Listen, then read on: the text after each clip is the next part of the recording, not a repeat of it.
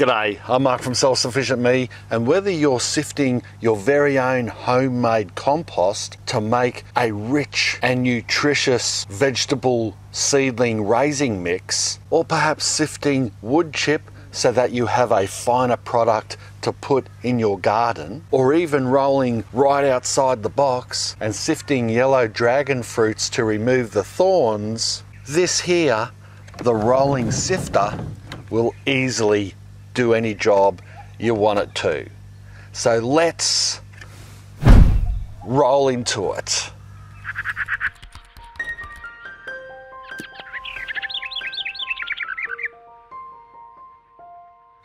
Rightio, from the beginning, I want to say this really is a good product. I don't work with bad products. I trial them a lot before I spruik and talk about them. And also, this video isn't sponsored at all, and I'm not even getting any kickbacks for any sales.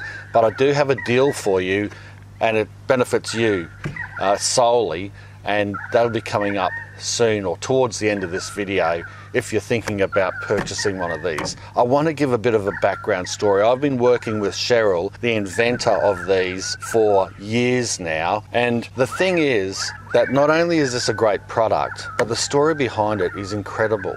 Cheryl is a nurse and she's still a practicing nurse. I don't know how she finds the time, but she has this side hustle of making these garden sifters. Her invention of this rolling sifter came out of necessity. She was working with worms and in her own garden, and she wanted to find a better way, a better tool to separate worm castings and sift compost and all those types of normal garden things that we do.